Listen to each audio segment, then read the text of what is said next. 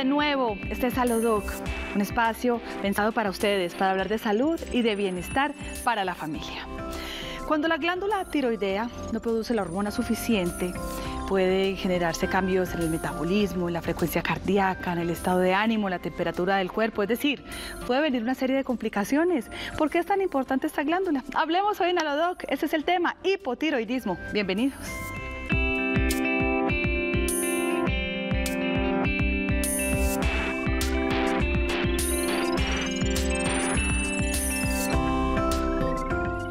Hipotiroidismo, una glándula que maneja una parte esencial del organismo. Vamos a aprender muchísimo acerca de este tema con la doctora Mary Álvarez, médica cirujana que nos acompaña de nuevo en nuestro programa, que teníamos este tema pendiente por estos días. Adelante, doctora, bienvenida. Gracias a ti por la invitación.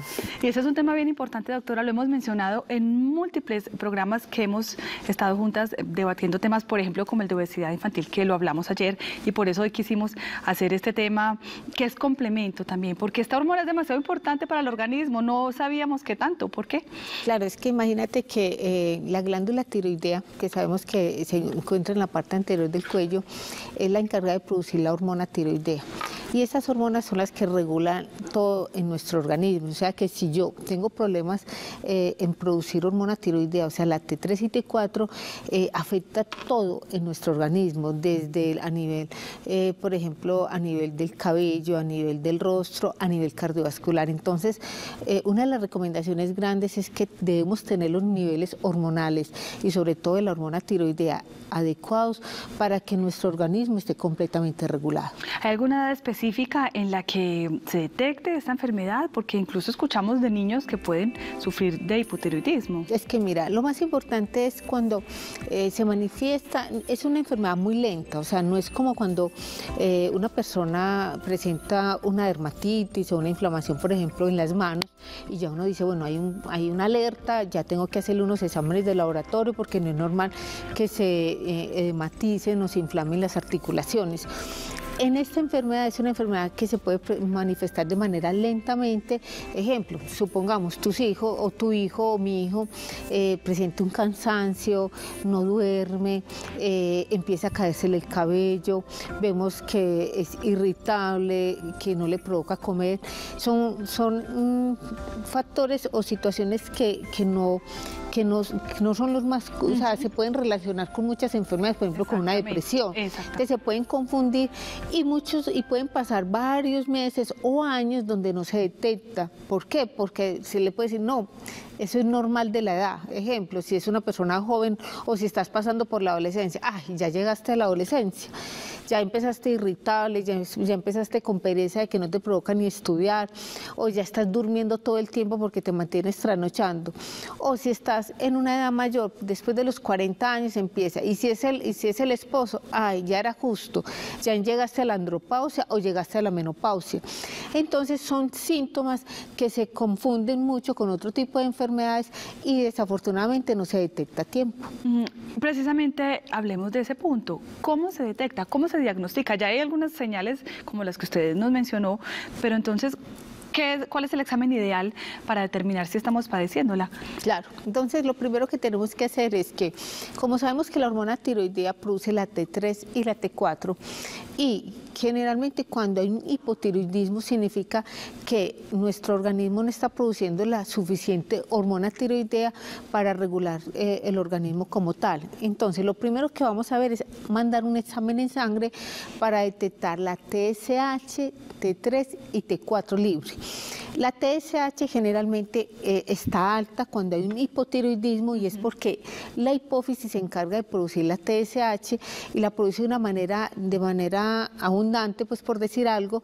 ¿Por qué? Porque está compensando la, hormona que no está produciendo nuestro organismo. Entonces, generalmente encontramos una TSH alta y un T4 eh, libre bajito. Entonces, ahí es cuando diagnosticamos que la persona presenta hipotiroidismo y obviamente acompañado con unos síntomas que los vamos a ver luego. Y de un tratamiento que también ya en unos minutos vamos a, a desarrollar. Repasemos cuáles podrían ser esos síntomas de hipotiroidismo. Aquí están.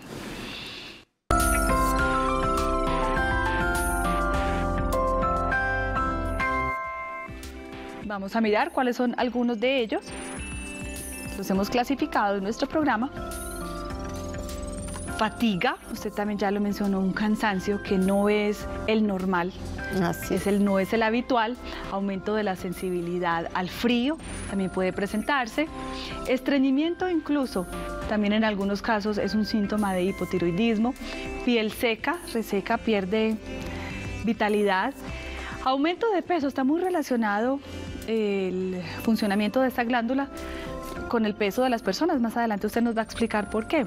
Hinchazón de la cara, ronquera, debilidad muscular es otra de esas características de esos síntomas que pueden presentarse. Nivel de colesterol en sangre elevado, dolores, sensibilidad y rigidez también muscular también estos mismos síntomas pueden ocurrir en las articulaciones, dolor y rigidez, y periodos menstruales irregulares o más intensos de lo normal. Seguimos revisando más síntomas, afinamiento del cabello, ritmo cardíaco lento, depresión incluso. Pueden presentar muchas personas a raíz de esta irregularidad en esta glándula, memoria deficiente, otro de los síntomas, Glándula de la tiroides agrandada también puede presentarse como otro de los síntomas del hipotiroidismo, doctora. Es que si tú te pones a ver toda la cantidad de síntomas, se relacionan con muchas enfermedades, ¿cierto? Entonces, con depresiones, con problemas, por ejemplo, que personas, personas que sufren de disautonomía o personas que tienen problemas cardiovasculares. Entonces, es fundamental, si tú presentas alguno de estos síntomas, eh, se debe hacer los exámenes de laboratorio para poder diagnosticarlo de manera a tiempo, o sea, no esperar que pasen meses y meses, esto o que muchas veces nosotros como padres les decimos a nuestros hijos, eso es normal, ese dolor de cabeza, esa constipación es normal, no te preocupes, esos son signos de la edad. No, por favor, como padres tenemos un compromiso muy grande con nuestros hijos y es que si presentan este tipo de síntomas, es fundamental hacer unos exámenes de laboratorio para hacer un diagnóstico temprano porque en la medida que nosotros lo diagnostiquemos de manera temprana, podemos mandarle el tratamiento adecuado y así podemos controlar muchos de estos síntomas y la persona se siente normal. O sea, yo no puedo estar sintiéndome con depresión, con irritabilidad, cansado, que no me provoca nada, con sobrepeso, sabiendo que en ese momento tenemos forma de prevenirlo y controlarlo. Controlarlo, doctora. ¿Cuál es esta especialidad que estudia específicamente esta enfermedad también para orientar un poco a los televidentes? ¿a dónde pueden acudir? Bueno, para eso están los endocrinólogos, que son los encargados de la parte de, toda de todo el sistema a nivel hormonal dentro de nuestro organismo. Entonces tú puedes visitar, inicialmente puedes ir donde el médico general.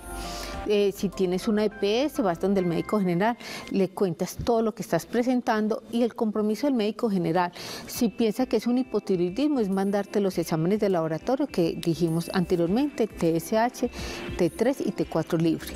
Luego, si ya estás pasando por un proceso donde la tiroides está muy descompensada, para ello ya está el internista, el médico internista o también está el endocrinólogo que nos pueden eh, controlar toda esa parte hormonal y obviamente mejorar nuestra calidad de vida. Hoy en día, si nosotros eh, vamos eh, a temprana, de manera temprana y consultamos, logramos controlar estos síntomas. ¿Por qué? Porque gracias a Dios tenemos un muy buen eh, tratamiento que nos permite mantenernos en buenas condiciones. Así es, doctora. Vamos a revisar también entonces los factores de riesgo que pueden desencadenar el hipotiroidismo. Vamos a mirar algunos de ellos y ustedes nos orientan el tema, doctora, si de pronto pues nos está faltando uno. Si eres mujer, ¿por qué somos las mujeres más propensas a que esto ocurra? Ay, yo no sé, pero es que a las mujeres nos da de todo. pero mentiras, no mentiras, que también los hombres sufren de determinadas enfermedades, pero se ha demostrado que es dos en uno. O sea, eh, mientras le da dos veces a una mujer, a un hombre le da una vez. Y generalmente las mujeres mayores de 35 años pueden presentar hipotiroidismo y los hombres a partir de esa edad. Muy bien. Ser mayor de 60 años también es un riesgo. ¿Qué es lo que sucede a esa edad? A ver, generalmente se ha demostrado que eh, se da después de, la, de todos esos cambios hormonales que se dan después de los 45, 50 años y estamos hablando de los cambios hormonales. ¿Por qué? Porque todos sabemos que a partir de los 45 años en el hombre eh, inicia la andropausia donde se disminuye la testosterona, pero también hay otros cambios hormonales, por ejemplo en la tiroides. Y en la mujer se presenta una disminución de los estrógenos cuando entra en una etapa que es la menopausia. Entonces, es el, es el momento donde todo el sistema hormonal a nivel de nuestro organismo internamente se puede alterar. Entonces, por eso se acompaña principalmente también con problemas de tiroides. Entendido, doctora. Si hay antecedentes familiares, también es un factor de riesgo. Es muy frecuente. Por ejemplo, en mi casa, eh, mi, mi, mamá sufre de tiroides y casi el 50% de, de mis hermanos presentan problemas de hipotiroidismo, o sea que es un factor que se relaciona muchísimo. Si tenemos una enfermedad autoinmune, como diabetes, tipo 1 o enfermedad celíaca también. También se relaciona muchísimo porque son enfermedades que tienen que ver mucho desde la parte del sistema inmunológico. Muy bien, eh, si se recibió tratamiento con yodo, con yodo radioactivo o con medicamentos antitiroides, también puede presentarse entonces un hipotiroidismo. Sí, porque ahí eh, se descompensa la hormona. Es que la hormona tiroidea es muy sensible. Como es una glándula que es la que se encarga de producir la hormona tiroidea, si hay personas que les, colocaron yodo, les aplican yodo por determinada enfermedad o porque presentan un nódulo tiroideo o algo, porque la tiroides ha crecido de tamaño, entonces eh, todas esas radiaciones pueden llevar de, pasar de un hipertiroidismo a un hipotiroidismo y se puede dar con mucha frecuencia. Muy bien, también si se recibió radioterapia en el cuello, Así es. Eh, en la parte superior del pecho, es posible que se desencadene un hipotiroidismo. Sí, es muy frecuente. Vamos a seguir revisando. Si tuvimos cirugía de tiroides, ¿es probable entonces que se desarrolle? ¿Sabes por qué? Porque si a ti te sacan una parte de la tiroides, el organismo es muy sabio, él trata de compensar y si no logra compensar se presenta, eh, el, o sea, obviamente como tienes una deficiencia de la hormona tiroidea porque te sacaron un poquito de la tiroides, eh, se puede presentar ese proceso de hipotiroidismo y en embarazos también se puede dar. Aquí lo tenemos como un factor determinante también y que seleccionamos y es si estuvimos embarazados o si dimos a luz en los últimos seis meses, es posible también que en ese periodo pues, se desarrolle esta enfermedad. Sí, o sea, definitivamente todo esto se da porque nuestro, en nuestro organismo de alguna manera es muy sensible a cualquier cambio. Por ejemplo, se ha visto también lo que hablábamos ahorita de la obesidad. Eh, yo no sé, pero muchas veces cuando tú ves, llega un paciente a la clínica o a cualquier consultorio y, y cuando estábamos hablando de la obesidad infantil, Generalmente hay que mirar si, esa personita ah, presenta hipotiroidismo o si dentro de los antecedentes familiares en su familia hay hipotiroidismo. ¿Por qué? Porque generalmente como la tiroides es una tiroides perezosa, o sea, lo que tú comes o lo que el organismo ingiere, o si tú comes más y no quemas porque no haces ejercicio, el organismo no es capaz de quemar esa cantidad de calorías de más. Entonces, y la tiroides obviamente está funcionando muy lentamente, entonces las células grasas tienden a aumentar de tamaño y obviamente a presentar la obesidad o sobrepeso. Entonces hay una predisposición muy grande con obesidad versus hipotiroidismo. Se relacionan conjuntamente. Bueno, doctora, momento para una pausa muy breve en Alodoc. Ya regresamos para seguir hablando de hipotiroidismo. Ya nos vemos.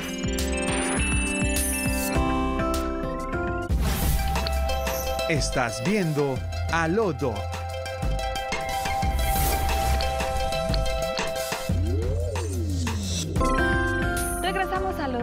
Estamos hablando de hipotiroidismo. Doctora, esta es una enfermedad crónica pero se controla, por fortuna. Gracias a Dios. O sea, hay enfermedades que, nosotros podemos decir, no hay en ese momento la cura, como decir ahora el COVID. Estamos pues, sabemos que cada vez sale una cepa distinta y estamos locos con el COVID. Pero gracias a Dios esta enfermedad es una enfermedad que si es diagnosticada de manera adecuada, de manera rápida, o sea, para evitar todos esos síntomas que de alguna manera estamos presentando.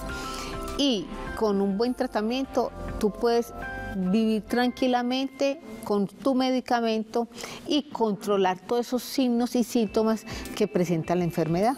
¿Cuál sería ese medicamento entonces que es parte del tratamiento, doctora? Esa, tenemos la levotirosina, que es un tratamiento que generalmente es eh, ideal. No es tomarlo, por favor. Hay algo importante, Dianita, que alguien me decía, yo vi el programa de Diana y me, me encantó, pero allá hablaron de un medicamento y yo salí a comprarlo a la farmacia. Y algo que tú tienes muy interesante en este programa es es que es un programa muy educativo de conocimiento, pero también de mucha responsabilidad. Y la recomendación es, cuando hablamos de un medicamento como es la levotiroxina, es un medicamento que controla la tiroides, pero es recomendado y mandado bajo prescripción médica, o sea, estamos hablando del internista, del endocrinólogo o el médico general si estás en la EPS. ¿Por qué? Porque este medicamento se debe mandar, se manda inicialmente en baja dosis, por ejemplo, de 25 microgramos al día y ya luego a los tres meses se hace unos, otra vez se mandan exámenes de laboratorios en sangre para mirar cómo está el nivel de la TSH, T3 y T4 libre. Si los niveles están completamente controlados, vas a seguir con esa dosis, pero si en algún momento ves que esos niveles eh, están bajitos o no están compensados, para ellos se aumenta la dosis, o sea que es de manejo por especialista.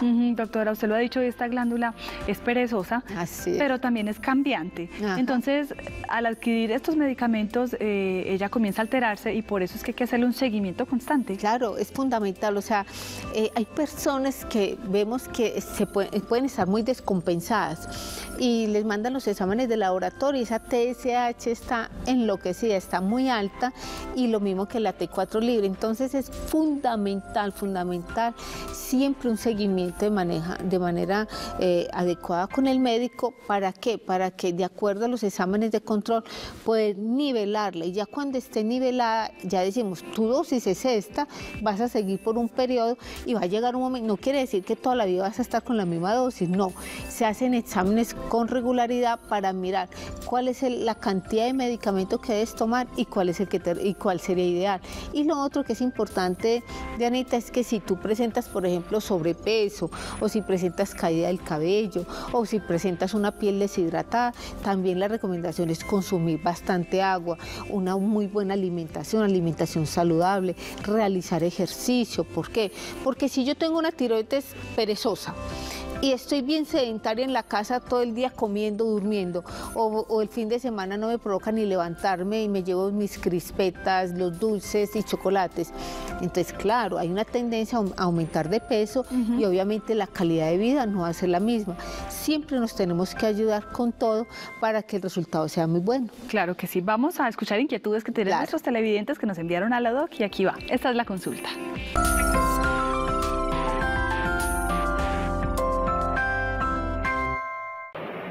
Hola, doctor. Mi nombre es José Sousa. Quisiera saber si la tiroides alterada afecta la fertilidad. Gracias por preguntar. ¿Afecta la fertilidad, doctora? Sí. Hay personas que generalmente, como vimos ahorita dentro de los síntomas, es que hay un desarreglo hormonal y hay problemas eh, eh, a nivel de la menstruación, en, los ciclos menstruales, entonces de alguna manera puede afectar no solamente la fertilidad, sino que también eh, a nivel, en todas las áreas a nivel del organismo, o sea, en cuanto a hormonas como la parte de la tiroides, otras hormonas como los estrógenos, la testosterona, o sea, que es fundamental. Eh, si tú tienes problemas de fertilidad, el médico está en la obligación o el compromiso de mandarte todo tipo de exámenes. Por eso cuando nosotros decimos queremos hacernos un chequeo ejecutivo, siempre, siempre está eh, los exámenes de laboratorio, la parte hormonal, o sea, donde te mandan eh, exámenes como la ferritina, hemoglobina, hematocrito, el perfil lipídico completo, las transaminasas para mirar cómo está tu hígado, tu, hígado, perdón, y fundamental la tiroides. En medio de esos exámenes, doctora, ¿es normal sentir agrandada la tiroides? Sí. ¿O no necesariamente en todos los casos se presenta? No, no en todo, eso se llama el bocio, que es cuando se agranda la tiroides. En algunos pacientes puede presentar presentarse eso. No es en todos, es tanto que cuando llega un paciente a la clínica o, cuando tú vas a consulta, el médico y tú presentas estos síntomas, lo primero que haces es palparte aquí en la parte anterior del cuello donde se ubica la tiroides para mirar si hay un aumento o si está agrandada la tiroides y obviamente mandarte también una ecografía o otro tipo de exámenes para mirar en qué condiciones está la tiroides. Bueno, tenemos una inquietud más de nuestros televidentes. Aquí está la consulta.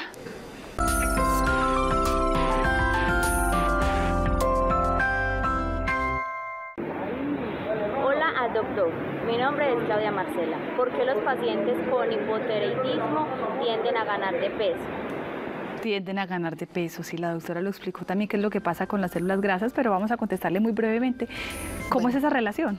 ¿Qué pasa? Como eh, de, de, entrada dijimos que la tiroides es una tiroides perezosa porque no produce la cantidad de hormonas que el organismo necesita para mantener un buen funcionamiento. Entonces, eh, el, cuando se aumenta de peso es porque las células grasas van aumentando de tamaño y obviamente eh, la tiroides no alcanza a compensar o, o, hacer ese proceso de destruirlas. Entonces, de alguna manera, uno de los factores que nos lleva a ver que la persona presenta tiroides es el aumento de peso. Entonces, fundamental controlar la tiroides y eso nos permite bajar de peso. Doctora, ¿cuándo es que se debe hacer cirugía de la tiroides? ¿En qué casos? Bueno, generalmente eh, se mandan unos exámenes de laboratorio, generalmente cuando vemos que hay nódulos tiroideos, puede haber nódulos, o sea que ha crecido la tiroides y se presentan nódulos quistes, o cuando el tamaño de la tiroides ha incrementado muchísimo, eh, o también cirugía cuando hay un cáncer de tiroides. Entonces son muchos factores que también ya es fundamental, ya es otro paso. Una cosa es controlar la tiroides porque haya un hiper o hipotiroidismo. Sí. Y ya el otro caso es cuando la tiroides ha aumentado de tamaño, que se presenten nódulos, que se presenten quistes o que se presente un cáncer. Y entonces ahí en estos casos, ¿cuál sería la implicación para estas personas cuando ya se han sometido a esa cirugía de tiroides? O sea, es muy, muy importante, eh, o sea, lo más importante es seguir con el control, con el profesional, porque lo que dijimos ahora, eh, cuando se quita una parte de la tiroides, pueden, pueden quedarse con una secuela una complicación como es el hipotiroidismo. Entonces, es, generalmente, si la persona la van se opera, debe seguir siempre con el especialista para no, no pasar a un hipotiroidismo o a un hipertiroidismo y así lograr controlar la tiroides. Bueno, doctora, y en cuanto al tratamiento con, yoda, con yodo, ¿en qué casos es recomendable y qué tan efectivo es? A ver, son casos muy específicos cuando hay un aumento de la tiroides, cuando la tiroides está creciendo demasiado. Eh, generalmente es, eh, este yodo radiactivo se utiliza en, es, es, como algo muy especializado de acuerdo al endocrinólogo que obviamente lo recomienda. Generalmente es cuando hay un crecimiento grande de la tiroides. En el hipotiroidismo no se da. Bueno, doctora, finalmente, como recomendaciones para nuestros televidentes, para pronto algunos pacientes, algunas personas que seguramente también son muchas, porque es frecuente escuchar que las personas estén sufriendo de esta enfermedad y que nos están viendo desde sus casas, mm, recomendaciones para tener en cuenta. Bueno, lo primero es no te preocupes si sufres de tiroides, de la tiroides, o sea, es una enfermedad muy frecuente, muy común, pero gracias hoy a todo lo que tenemos a nivel eh, eh, en la parte médica es que es una enfermedad que se controla eh, de manera muy sencilla con una pastilla o dependiendo obviamente de lo que tengas. Segundo, si presentas alguno de estos síntomas que hablamos inicialmente, como es depresión, cansancio, irritabilidad, sobrepeso, caída del cabello, la piel, seca, es el momento de consultar al médico para que para que te haga unos exámenes de laboratorio y detectar de manera temprana si sufres de tiroides, si sufres de la tiroides y hacer un tratamiento adecuado. Y lo otro es si presentan sobrepeso, caída del cabello, hay tratamientos que nos pueden controlar y que nos permiten mejor calidad de vida. Pero lo más importante es una consulta de manera eh, oportuna donde el especialista. Siempre donde un especialista. es el mensaje de Alodoc. Muy atentos a todas estas señales que ya les contamos hoy en nuestro programa y consultar. Siempre perder ese miedo a consultar. Gracias por su compañía, doctora. Y por supuesto a ustedes también por acompañarnos. Nos vemos en una próxima oportunidad. No se le olvide, alodoc telemedellín.tv. Escríbanos.